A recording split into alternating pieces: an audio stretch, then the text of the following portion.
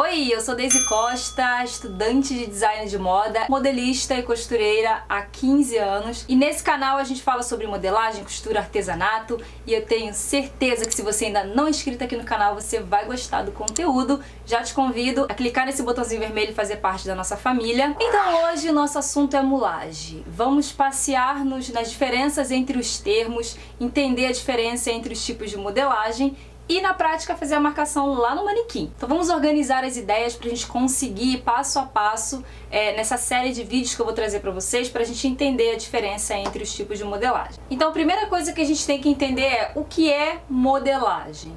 Modelagem nada mais é do que você preparar o seu molde para poder executar o produto final seja modelagem plana e modelagem tridimensional. É, e aí a gente precisa entender dos processos de modelagem. E cada um, desse, cada um desses tipos de modelagem tem processos diferentes. E quais são os tipos de modelagem? Vamos falar então sobre o que a gente pratica com mais frequência aqui no canal, que é a modelagem plana bidimensional. E nesse tipo de modelagem a gente tem dois tipos. Modelagem plana bidimensional manual, que é o que a gente faz direto no papel, em um plano reto, que é o papel, a gente usa papel pardo, papel craft ou a cartolina, para fazer os nossos desenhos é, baseados em cálculos matemáticos e na geometria plana. Então fazendo quadrados, retângulos, curvas, é, a gente vai traçando ali o nosso modelo para chegar no resultado final. Essa é a modelagem plana bidimensional manual. Também temos a modelagem plana bidimensional computadorizada, que é onde a gente é, utiliza de softwares, programas voltados para modelagem. Então ali a gente já tem vários recursos que facilitam a, o desenvolvimento do molde. E normalmente esse tipo de modelagem é utilizado na indústria, porque o tempo para fabricar um molde, é, se você demora 40 minutos para fazer o molde de, de, maneira manual, na modelagem plana bidimensional, lá no programa de computador você faz em 5 minutos. E aí para você escalar isso, fazer toda a gradação, ou seja, é, colocar esse modelo em todos os tamanhos possíveis e desejáveis, você leva apenas alguns cliques. Então, para a indústria, de forma escalada, a modelagem plana bidimensional computadorizada ela é muito mais viável, né? Porque reduz o tempo e aumenta a produtividade. E o outro tipo de modelagem é a modelagem tridimensional, que a gente tem três termos aí. Chamamos de modelagem tridimensional mulagem e draping, que é a mesma coisa, sendo que o primeiro termo é no português, o segundo no francês e o terceiro no inglês. Então, só para a gente entender a parte teórica disso. Uh, o conceito de modelagem tridimensional nada mais é do que você moldar o tecido diretamente no corpo, seja um corpo vivo de um ser humano, seja no corpo técnico que é o manequim. Então a gente vai drapear, moldar, esculpir esse corpo diretamente com o tecido.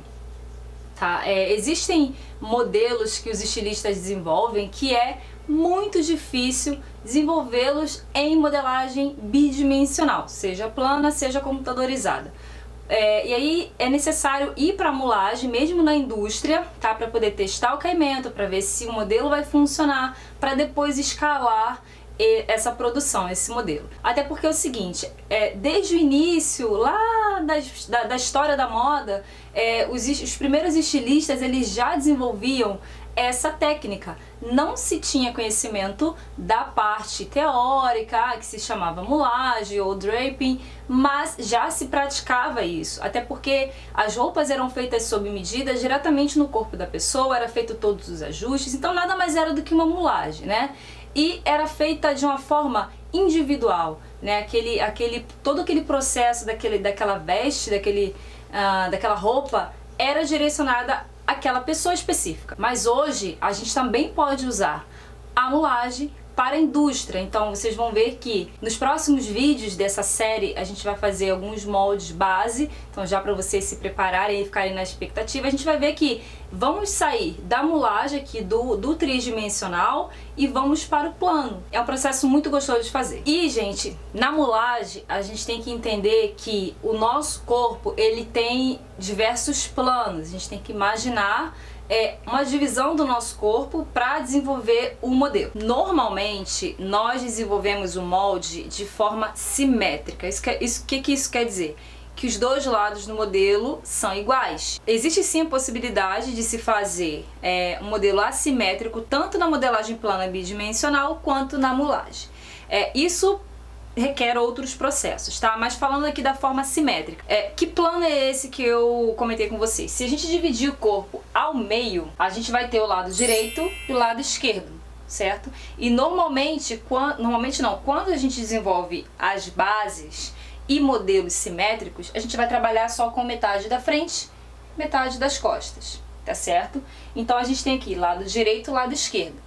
Se eu dividir aqui a minha cintura, o meu corpo, aqui na altura da minha cintura, eu tenho o plano superior e o plano inferior, que gente vai trabalhar blusas, ah, casacos, enfim. E se nós dividirmos o nosso corpo, é, olhando aqui na lateral, né, de lado, ao meio, nós temos o plano frontal e as costas. E quando eu falei aqui do lado direito com o lado esquerdo, o lado direito e lado esquerdo, nós podemos observar uma simetria, concordam?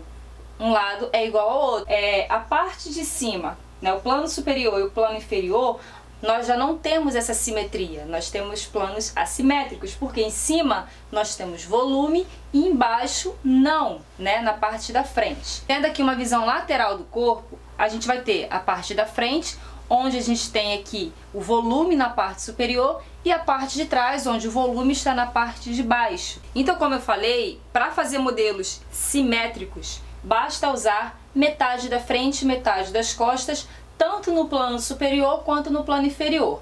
Para fazer modelos assimétricos, a gente vai precisar desenvolver os dois lados da peça, tá? tal com suas características. E falando de modelagem, a gente pode entender no aspecto de modelagem sob medida e modelagem uh, de forma geral, né, que pode ser dentro de uma tabela de medidas para a indústria ou mesmo para clientes sob encomenda, você tratando ali com o cliente final.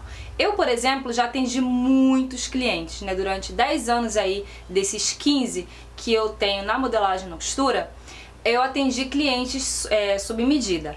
Por muitas vezes eu fiz modelagem exatamente nas medidas do cliente e em outros momentos eu trabalhava com as medidas do cliente dentro de uma tabela de medidas.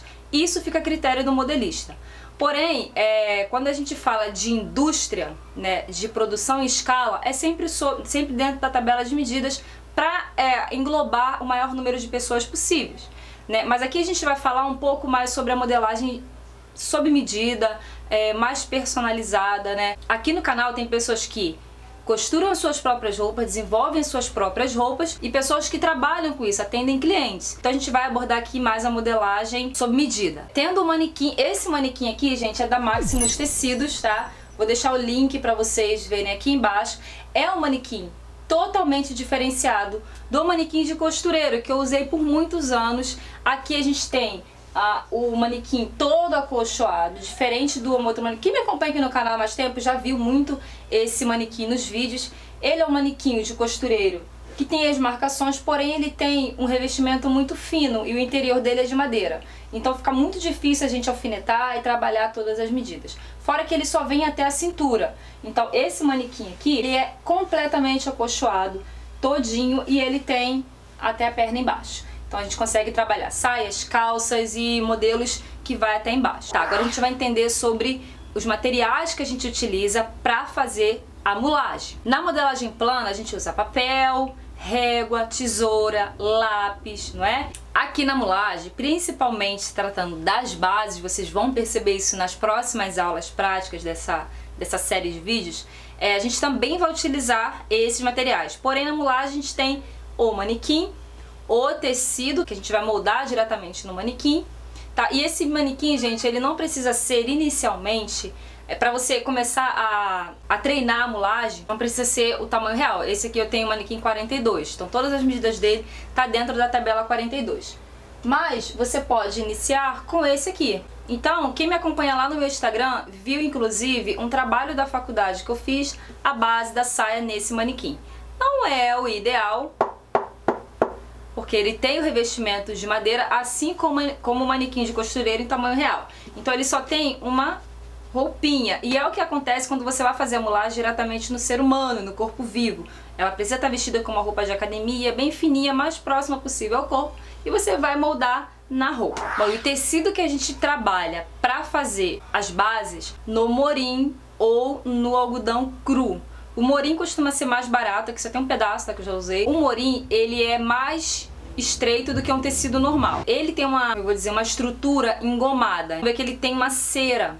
E a gente precisa trabalhar esse tecido antes de iniciar a modelagem. A gente vai aprender isso na próxima aula, a preparar o tecido e a começar a moldar ele no manequim, tá? Então, o morim ele não tem elasticidade, é o tecido que a gente trabalha para poder fazer a mulagem. Os modelos iniciais, porque a gente faz a mulagem, vai para o plano, acerta o molde e depois vai para o tecido final. Vou deixar na tela para vocês verem o vestido que eu fiz no meu trabalho final da matéria de mulagem da faculdade. É, e ficou incrível, eu não fiz nenhum ajuste. Para a gente fazer todo esse processo de moldar o tecido no manequim, a gente precisa marcar esse manequim, tá? Eu vou mostrar em detalhe para vocês se vocês verem de pertinho, a gente tem todas as linhas aqui de costura abaixo do seio, corte princesa, cava, lateral. A gente tem todas as marcações de costura, pescoço, mas a gente precisa é, marcar tudo isso aqui com uma fita contrastante para que a gente consiga visualizar por cima do tecido. Então não tem como a gente modelar sem fazer essas marcações. A gente usa uma fita de cetim ou você usa fitinha de viés, que é o que eu vou usar, tá? Aquelas tiras de viés pronto. Entendendo todos os conceitos básicos da mulagem, vamos para a nossa primeira aula prática, que é marcando o manequim. Então a gente vai iniciar agora a marcação no manequim. Vamos precisar de fita métrica e muitos alfinetes. Eu já deixei alguns aqui.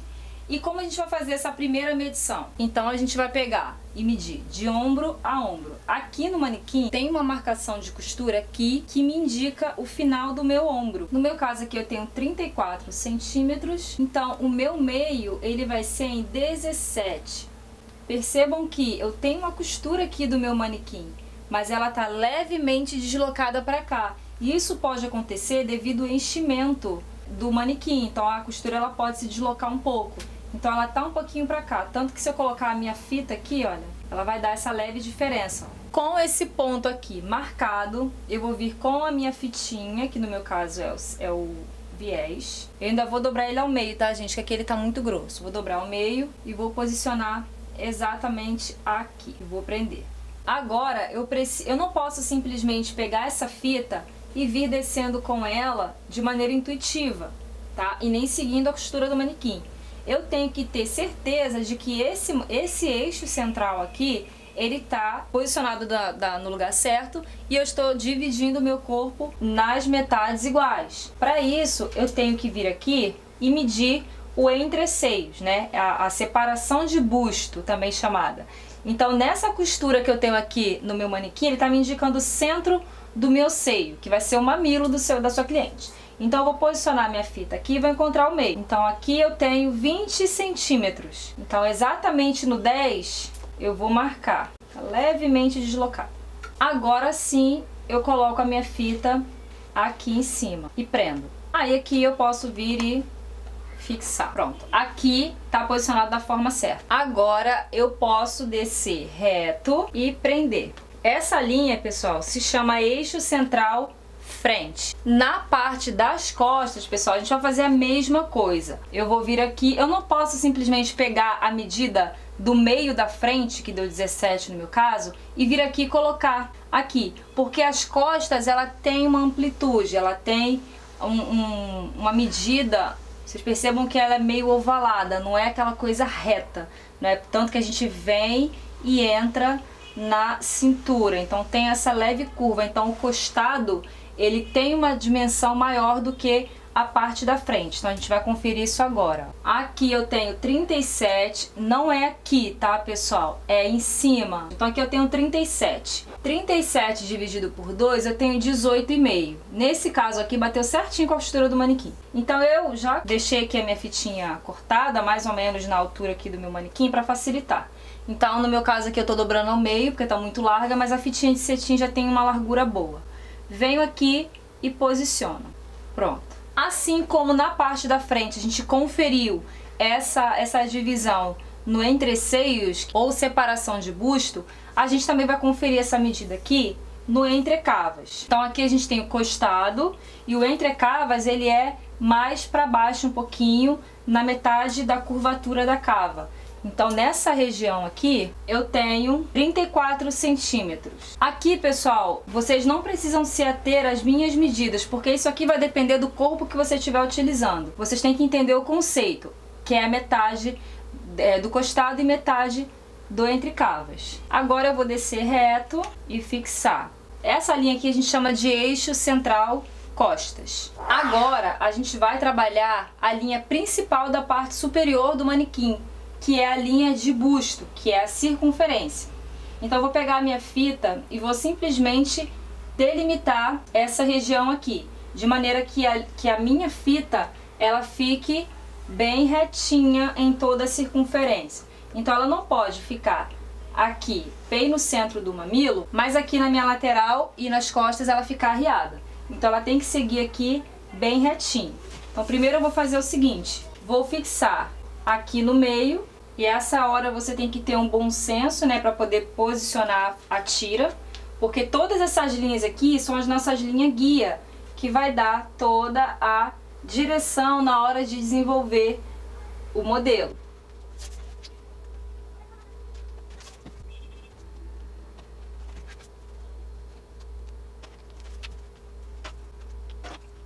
Então eu tô vendo que a minha linha, ela tá seguindo um caminho na mesma direção. Agora a gente vai fazer a marcação da linha da cintura, onde a gente vai delimitar o plano superior e o plano inferior. Botei o manequim um pouquinho mais alto, né? Vocês estão percebendo. E como a gente vai fazer isso, pessoal? Eu vou pegar a minha fita e a cintura ela é naturalmente mais fina, né? É a parte mais fininha do corpo. Então ela tem esse, essa acomodação aqui, a peça se acomoda aqui. Tanto que quando você vai é, tirar foto, você encaixa naturalmente a sua mão na cintura. Então essa aqui é a parte da cintura, a cintura alta. Então eu vou pegar a minha fita e vou fazer isso aqui, ó. E ela vai se acomodar na parte mais fina do corpo. Ó, por mais que eu movimente, ela não vai subir, ó, eu tô fazendo de propósito, e nem vai descer. Eu deixando a minha mão leve, fazendo esse movimento, ela vai se acomodar. Então aqui é a minha cintura. Eu já pude perceber isso. Então eu vou vir aqui e já vou travar aqui no centro. Aqui também. E aí eu vou me preocupar só em manter, ter a mesma preocupação da linha de busto. Não deixar as laterais ficarem mais é, baixas do que a outra parte. E aí é só ir marcando as partes. Pronto, marquei aqui a minha linha de cintura. Aqui, pessoal, na linha do quadril, a gente tem aqui a parte mais acentuada do, do volume do bumbum, tá? Da parte traseira. Então essa parte aqui, o meio mais acentuado, se a gente colocar aqui a fita, a gente vai conseguir pegar essa posição. Só que a gente tem que é, fazer uma medida aqui que é a altura do quadril. Essa medida, ela não é tabelada. Todas as outras medidas, se depois a gente quiser vir aqui conferir altura de blusa, cintura e tudo mais, a gente pode até vir comparando com a tabela. Mas a altura de quadril, a gente tem uma medida é mais ou menos aproximada. Pessoas mais baixas, ela tem a altura do quadril da, a partir da cintura de 18 centímetros. Então a gente coloca mais ou menos uma variável de 20 centímetros. Isso pode aumentar conforme a pessoa tem o quadril mais avantajado, tá? Então assim, a questão a nível de marcação de quadril no manequim, a gente faz assim. Mas se você for fazer no corpo da pessoa, você vai ter a medida dela, tá? Então eu vou vir com a fita e vou marcar essa altura aqui, partindo da cintura 20 né? Porque o meu manequim já é um manequim mediano. Aqui eu já posso posicionar a minha fita. Vou vir aqui fazer a mesma marcação do outro lado. Dessa forma eu vou garantir que a minha fita ela vai estar na mesma altura dos dois lados e não vai deixar o meu quadril diferente.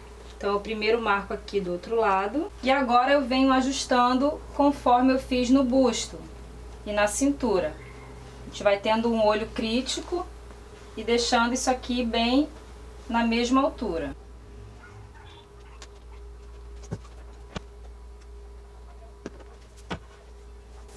Vou conferir aqui se não saiu do lugar. Tudo certo. Agora a gente vai para uma medida muito importante que é a linha princesa, que é uma linha que vai nos possibilitar trabalhar as pences e ajustar essa peça dando tridimensional.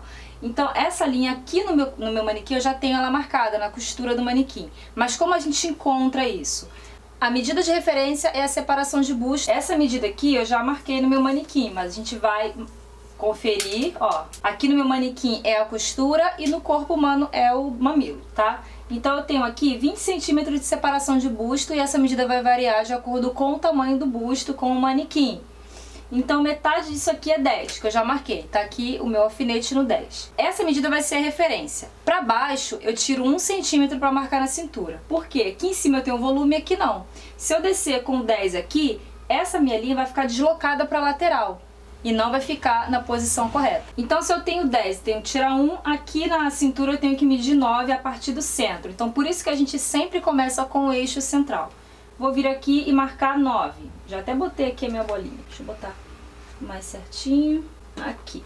Pro quadril, se na cintura aqui é mais estreito do que o busto, que é a minha referência, eu tiro um centímetro, o meu quadril é mais largo do que aqui. Então eu venho e acrescento um centímetro nessa medida aqui. 10 mais 1, na linha do quadril, eu vou marcar 11, daqui do eixo central. Então venho aqui e marco 11. Aqui no meu ombro eu vou marcar metade dele. Então eu tenho aqui 11 centímetros, vou marcar a metade dele que é 5,5 e aí você vai ver aí qual é a metade do seu. Pronto, agora tendo essas linhas aqui marcadas, eu vou ver quanto mais ou menos eu vou precisar aqui, vou cortar e eu vou posicionar a minha tira nessas, nessas posições. Vou começar aqui no centro do ombro, vou descer e encontrar esse ponto aqui do mamilo. Aí aqui eu acomodo a minha tira nessa curva, né? Porque aqui a gente tem essa curvinha. Vou descer e posicionar aqui na, no ponto da minha cintura. Aí eu acomodo porque tem um volume aqui, né? Então eu acomodo aqui e coloco mais um alfinete e a parte de baixo no ponto que eu marquei no quadril. E aí eu posso colocar mais uma aqui no meio também. Essa aqui é a minha linha princesa. Não preciso marcar dos dois lados se eu não quiser. Lembrando que se a gente for fazer uma peça assimétrica, tem que ter as duas marcações.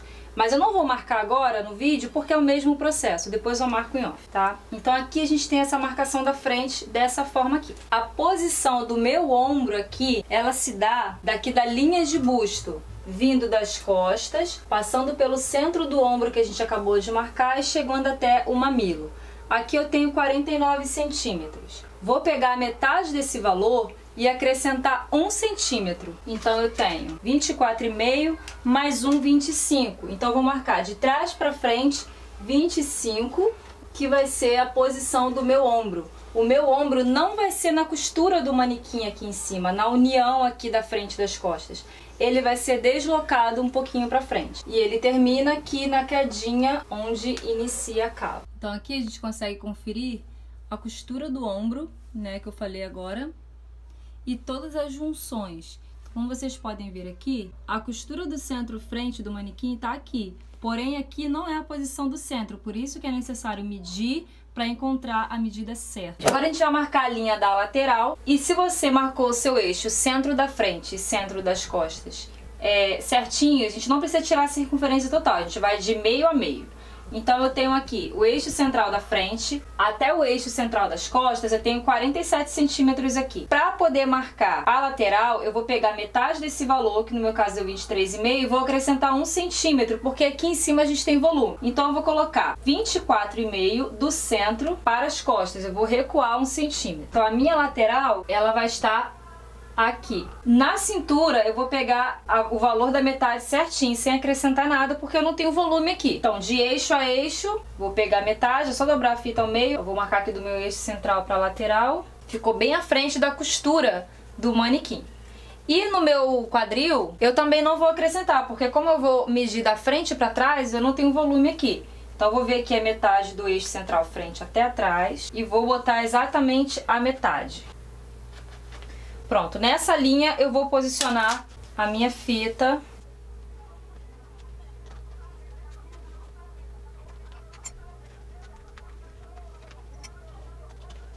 Última linha que a gente vai marcar é a linha da cava. Essa linha a gente tem aqui pro tamanho 40, a partir de 38 e 40, a gente tem a partir de 3 centímetros acima da linha do busto, tá? Como eu tô com 42, eu vou marcar 3,5 acima dessa linha. Perceba que se eu fizer uma conchinha, eu tenho a altura da minha cava. Aqui no meu manequim, eu já tenho o contorno da medida da minha cava. Mas eu posso vir aqui com a minha mão Oi. Oi, amor. Tudo bem?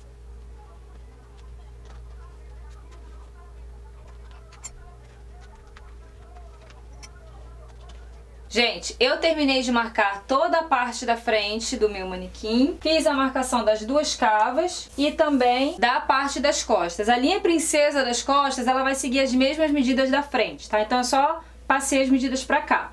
Agora, pra fechar, eu vou fazer a última marcação, que é a marcação do pescoço, tá? Que isso vai ajudar na hora de construir golas e decotes. A principal marcação que a gente tem que fazer para identificar a linha do pescoço é o encontro da queda do pescoço com o início do ombro. Então essa junção aqui, a posição que a gente vai fazer toda a circunferência. Então essa é uma marcação bem simples, eu vou vir aqui. Vocês podem perceber que no manequim fica fácil, porque eu tenho já a marcação aqui. E no corpo não é diferente, a gente tem aquela partezinha do ossinho no pescoço que vai guiar a gente na hora de marcar isso aí. Então é só passar no contorno de todo o pescoço, aqui eu tenho que tomar cuidado para não tirar o meu eixo central do lugar. E seguir até as costas. Então aqui a gente consegue ver a marcação do pescoço, do ombro, da cava. Bom, gente, encerramos aqui a nossa primeira aula da série de vídeos de mulagem. Eu espero que vocês tenham compreendido os conceitos e a forma de marcar o manequim para a gente iniciar, de fato, a moldagem do tecido. Me conta aqui abaixo se você já conhecia essa técnica, me conta o que, você espera que a gente venha desenvolver. E é isso, gente. Um beijo pra vocês e até o próximo vídeo. Tchau!